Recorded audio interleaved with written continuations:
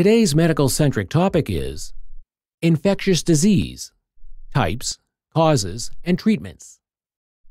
Infectious diseases are caused by pathogenic microorganisms such as bacteria, viruses, fungi, or parasites. They can spread directly or indirectly from one person to another. Here, we'll explore the types, causes, and treatments of infectious diseases.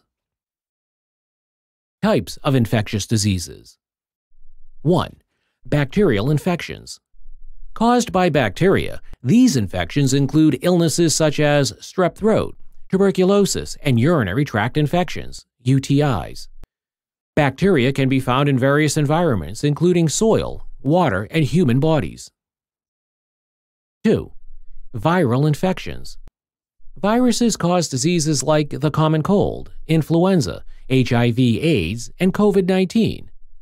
They require a living host to replicate and can spread through respiratory droplets, bodily fluids, or contaminated surfaces. 3. Fungal infections. Fungi cause infections like athlete's foot, ringworm, and yeast infections. Fungal spores are present in the air, soil, and on skin. These infections often occur in warm, moist environments. 4. Parasitic infections.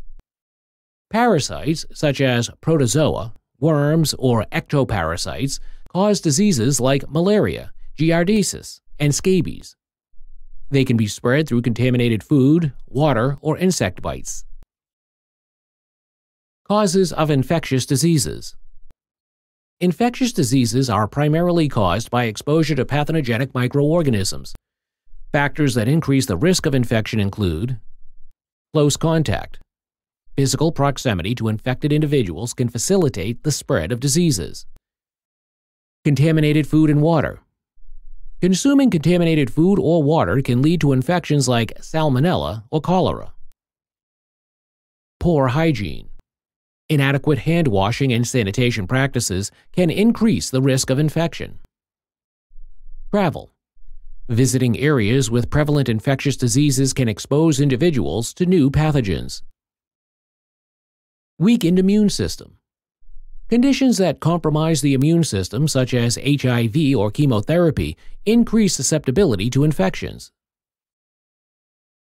Treatments for infectious diseases 1. Antibiotics.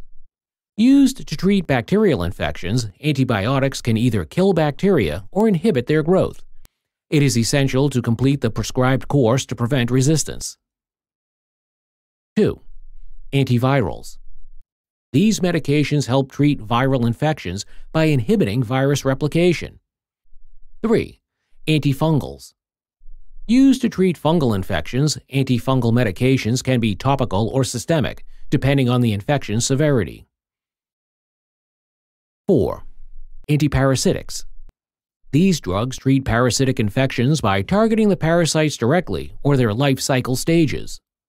Examples include medications for malaria and giardiasis. 5. Vaccinations.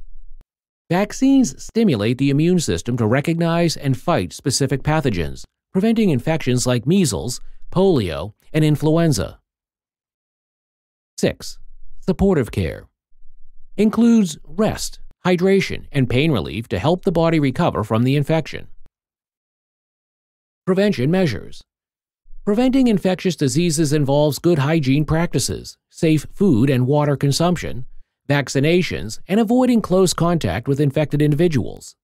Regular hand washing, using sanitizers, and maintaining a healthy lifestyle can also reduce the risk of infections. Thank you for watching our video. Please do not forget to like and share the video. Also, please subscribe to the channel to stay updated on our latest videos.